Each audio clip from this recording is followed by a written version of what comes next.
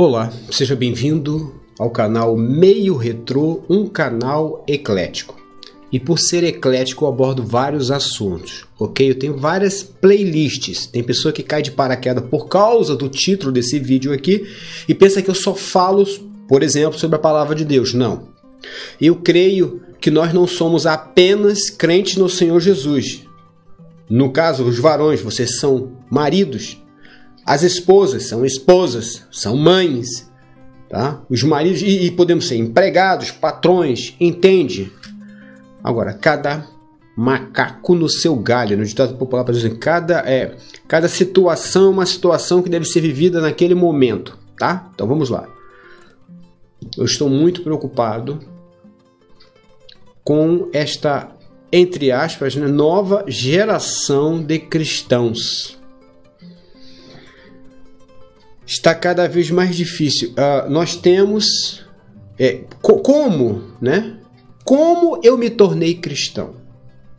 Como você se tornou cristão? É possível uma pessoa se tornar cristão sem conhecimento da palavra de Cristo? Sem conhecimento da palavra de Deus? É óbvio que não. Você tem que conhecer a palavra. E a palavra de Cristo, a palavra de Deus, está aonde? Nas chamadas Escrituras, na Bíblia, né, nos livros, livros sagrados, né, usa essa terminologia, terminologia né, sagrada, na Bíblia. É ali que eu vou conhecer e eu, ao conhecer, ao estudar, ao crer, eu me torno um cristão ou um seguidor de Cristo.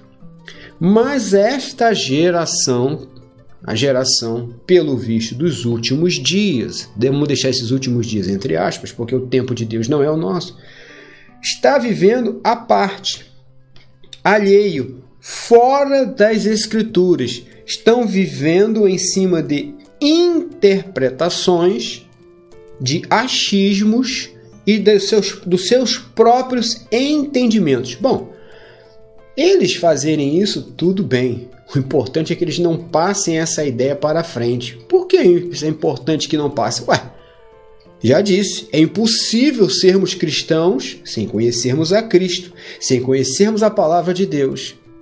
E esta nova geração não conhece ou conhece muito pouco a palavra de Deus. E você não precisa conhecer hebraico, grego, aramaico, latim, absolutamente nada disso.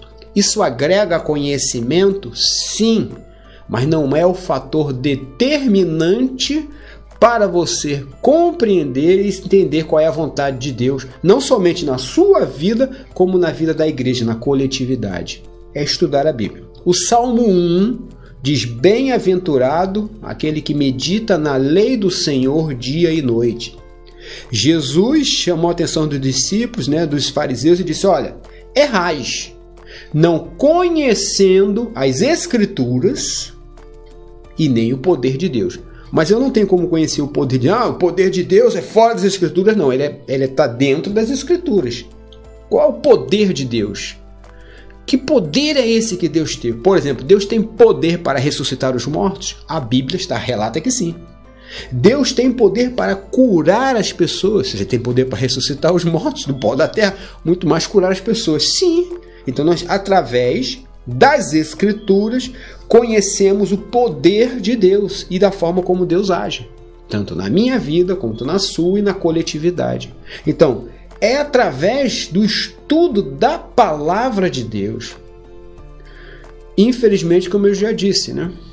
Esta geração, a geração papaléguas, a geração passarinho, que é tudo na boquinha, ela não quer gastar tempo de raciocínio, ela está criando, criando as suas próprias regras. Interessante que no Antigo Testamento, né, no livro de Juízes, quase sempre os livros de Juízes terminam assim: o povo esqueceu-se de Deus.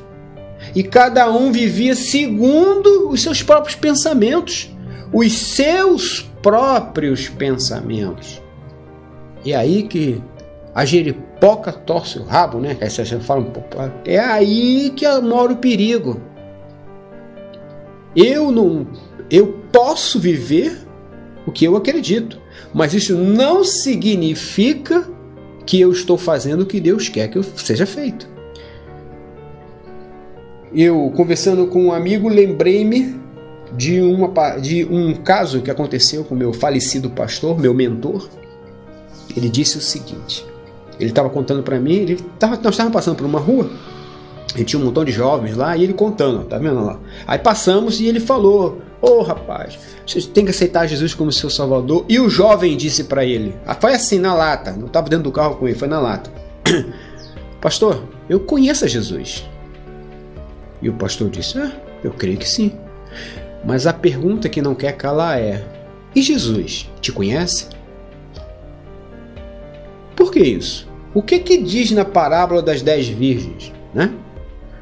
Toco, toco, toco, toco. Senhor, abre-nos a porta. O Senhor vem e diz: Não vos conheço. Não vos conheço. Gente, é muito sério o que diz a palavra de Deus. Infelizmente, e grande parte né, dessa situação é responsabilidade, como no Antigo Testamento, dos líderes religiosos, vamos dizer assim, que não estão apresentando para esta nova geração a santa, preciosa palavra de Deus. Aqui, gente, todos têm. Meu falecido pastor dizia: não acreditem em mim. Verifiquem, sejam berianos, verifiquem nas Escrituras se o que eu estou dizendo de fato existe, se é dessa maneira mesmo. Já falei aqui que nós estamos vivendo a geração da interpretação. Não está se pregando mais a palavra de Deus, mas a interpretação da palavra de Deus. Olha, eu interpreto assim, vou pregar assim. Eu interpreto assado e vou pregar assado. Esta é a geração. Por isso, como eu escrevi na comunidade, apegue-se à palavra de Deus. Apegue-se à palavra de Deus. Que o Senhor Deus de Israel, na pessoa de seu filho Jesus Cristo, abençoe a você e a sua família. Amém?